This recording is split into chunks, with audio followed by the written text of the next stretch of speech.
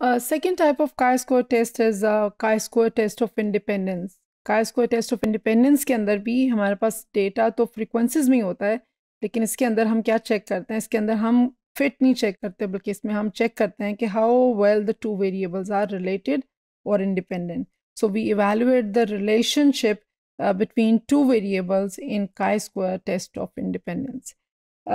इसके अंदर क्या होता है कि हमारे पास uh, दो वेरिएबल्स हैं और दो वेरिएबल्स दोनों के दोनों कैटेगोरिकल हैं नॉमिनल हैं या ऑर्डिनल हैं और फिर हम उन दोनों में कैटेगरीज हैं, उसके अंदर फ्रीक्वेंसीज हैं और हम चेक करते हैं कि क्या दोनों वेरिएबल्स रिलेटेड हैं या फिर वो इंडिपेंडेंट है। सो यूजली डेटा हमारे पास एक मेट्रिक्स की तरह का होता है और frequency distribution for the sample is then used to test hypothesis about the corresponding frequency distribution for the population और इसी तरह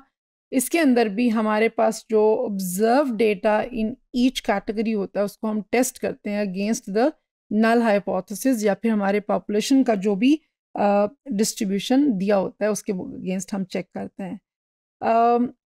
Usually the data for the test are presented in the form of a matrix where the rows respond to the one category and column respond to the other category जैसा कि uh, ये एक example दी हुई आपके सामने हमारे पास students का data है जिसमें एक वेरिएबल हमारा है कलर चॉइस और दूसरा हमारा है पर्सनालिटी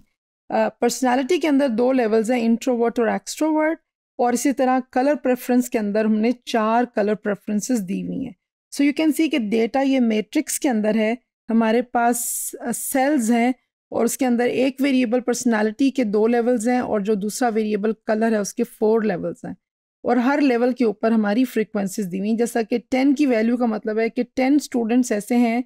जो इंट्रोवर्ट हैं and they preferred red colour और इसी तरह थ्री स्टूडेंट्स ऐसे हैं जो कि इंट्रोवर्ट हैं and they preferred yellow colour so this is a kind of data और हम इसमें टेस्ट क्या करते हैं कि क्या हमारी जो दोनों वेरिएबल्स हैं पर्सनालिटी और कलर चॉइस के दरमियान कोई रिलेशनशिप है या कि वो इंडिपेंडेंट हैं। सो नल हाइपोथेसिस सबसे पहले हम बनाते हैं null hypothesis for chi square test of independence states that the two variables being measured are independent यानी उन दोनों के दरमियान कोई लिंक या रिलेशनशिप नहीं है। जबकि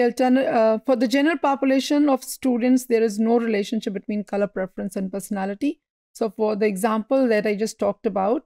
हम ये कहेंगे कि दोनों वेरिएबल्स पर्सनैलिटी और कलर चॉइस के दरमियान कोई भी रिलेशनशिप uh, नहीं है। और इसका अल्टरनेटिव हाइपोथेसिस बनेगा कि there is a relationship between the two variables यानी कलर प्रेफरेंस और पर्सनालिटी के दरमियान देर इज़ अ लिंक और there is a relationship and now we will be manually पहले इसको सॉल्व करेंगे और फिर हम उसके बाद उसको एसपीएसएस के अंदर करेंगे।